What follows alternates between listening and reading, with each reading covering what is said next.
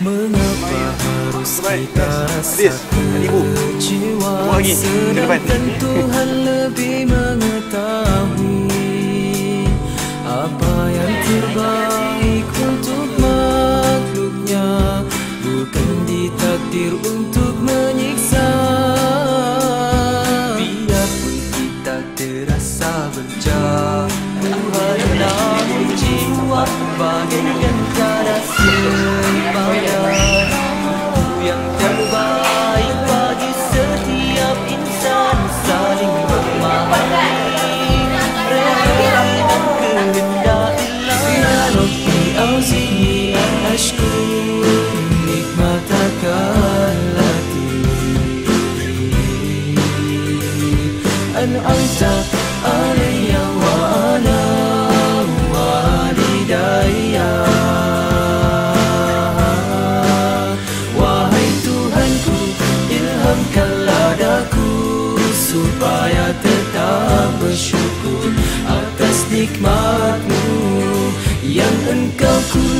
kurniakan kepadaku Juga kepada ibu bapaku. Kenapa, kenapa kan? Bahasa kedalam tu lah Jadi pukul 2 tu Kalau ada kata dia Benda-benda tu nak mandi tu terpulang. Kita bagi nak mandi ke tukar pakaian pokok Jadi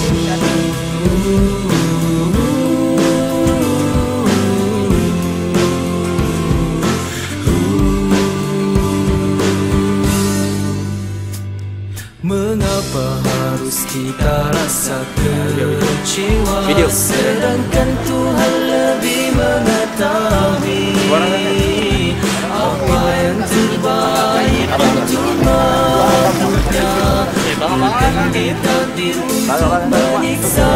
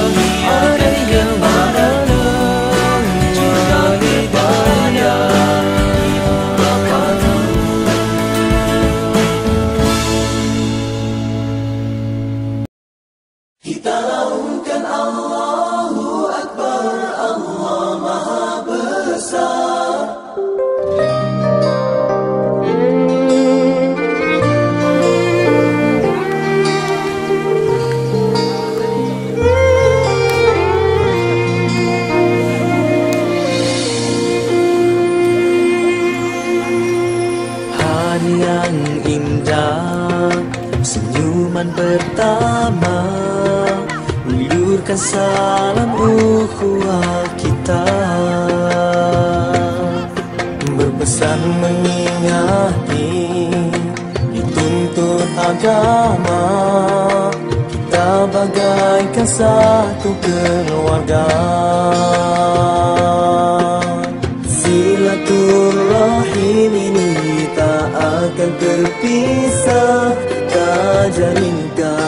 seperti Rasulullah dan sahabat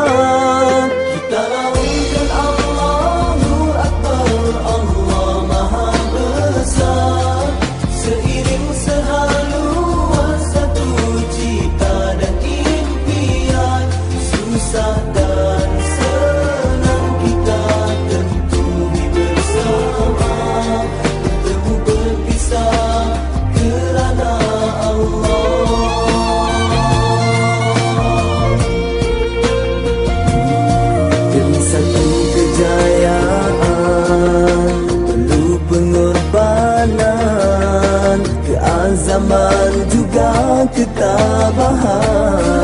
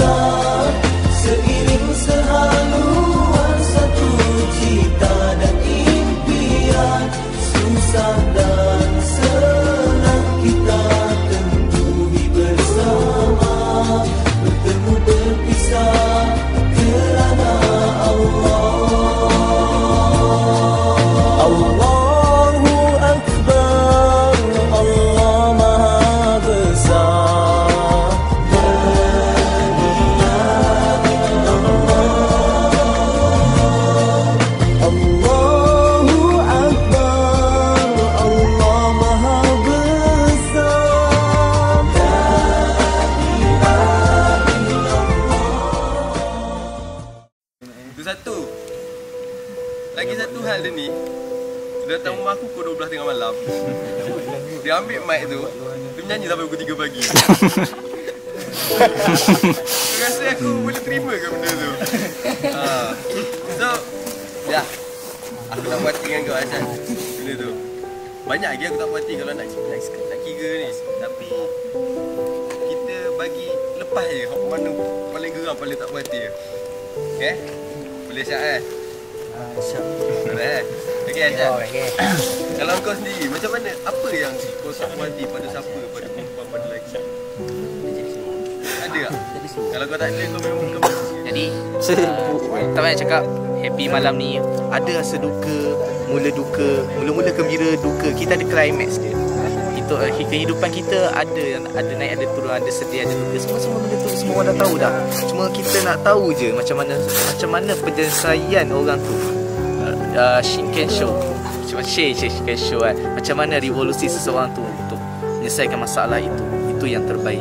Kita tak nak cari salah orang. Kita nak cari penyelesaian dalam hidup ini. Apakah matlamat akhir kita. Dan itu saja saya nak cakap. Terima kasih.